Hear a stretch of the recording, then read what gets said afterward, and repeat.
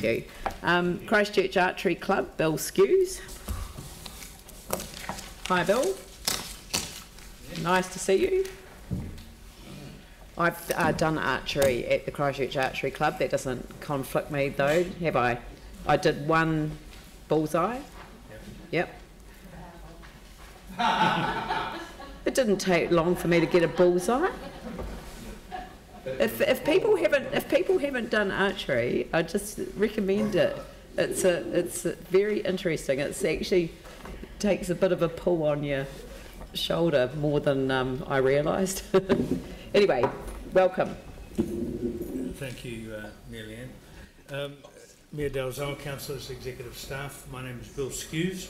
I'm uh, past president of the Archery Club and the spokesman for their submission.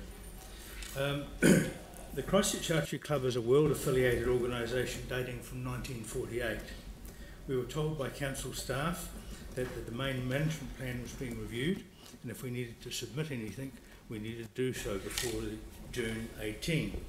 This was incorrect um, because it was actually the LTP that they were referring to.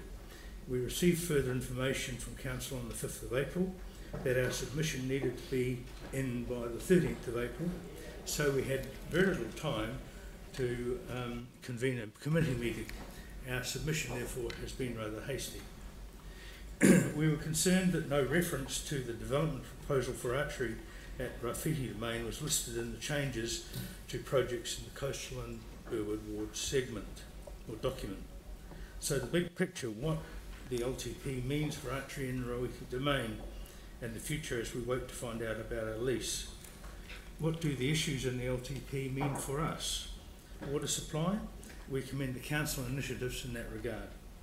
Flood risk, in the event of a tsunami, it would likely mean that our facility would be affected, but the public and the users would be safe. We accept that problem and we'll deal with it when we have to. Roading. We acknowledge that the City Council is acting in the interests of all users and prioritising critical matters. Cycle routes do not affect us, and while the cost of this work is high, we notice that the Council is utilising government provisions as best they can. Parks. Our occupancy at Rawhiti Domain is precarious, as we are constantly bombarded with organisations wanting to use our shooting area, citing the fact that they are working in the wider interests of the city. Our lease expires in three years, and then what happens? In 2014, we had developed plans for a quality indoor shooting facility, a 24-7 shooting facility.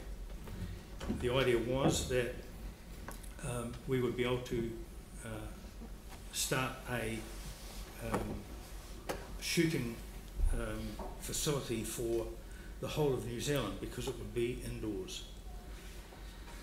Our lease expires in 2001 and we've spoken to the Red Zone Development Wing of the Council, but any work on that area is likely to be 10 years away. Further, it seems that the Council is more concerned about the removal of native trees near us, and there aren't any, than helping us move forward. We have been a good tenant, we were promised action, and are still waiting. The proposed facility was included in the future rough fee domain plan.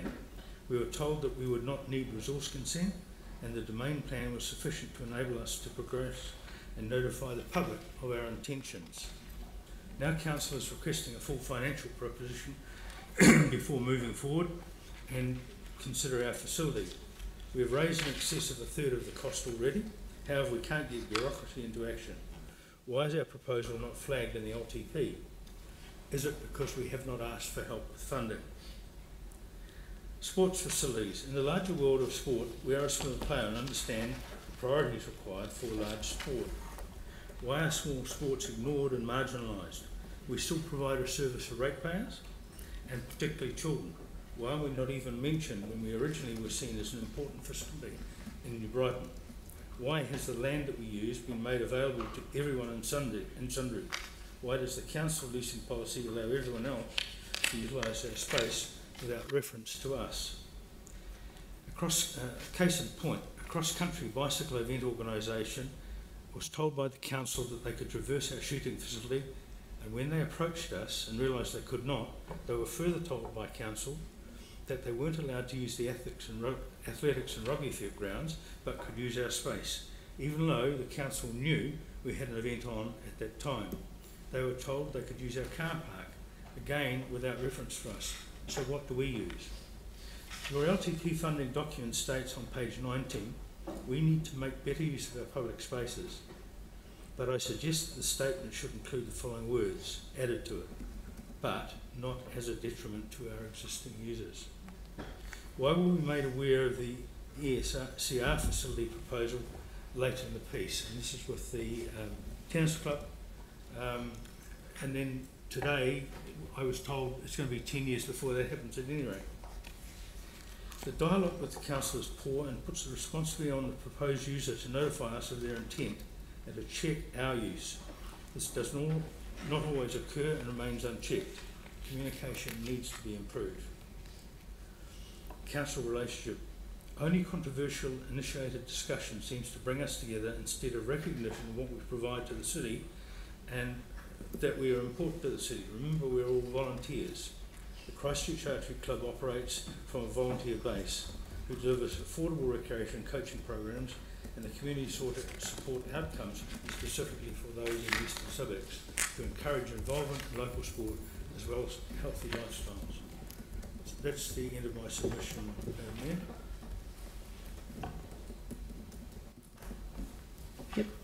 Thank you. Um, Sarah? Thank you for that. Um, I'm just wondering if you've, uh, we had a, a um, submission earlier today from a group promoting a new shooting and archery um, uh, space um, in Christchurch, um, the shooting club and things like that. Have you had um, a talk to them at all, or are you very just very keen to stay where you are currently? No, we, we were given their submission about five minutes ago, so we haven't even read it yet. Right. Uh, we don't know who they are. Okay. Um, one of the things that we have to be aware of is the Christchurch Archery Club is the international club That's right. affiliated Yeah, to yeah. the international body. And so anything we do has to take into account world archery. That's right. Yeah. That's good. Thank you. Um, any other questions? Yani? Uh, I was just wondering if there was quite a lot more detail in what you talked about rather than what's in your written submission. Are you able to provide that through to the?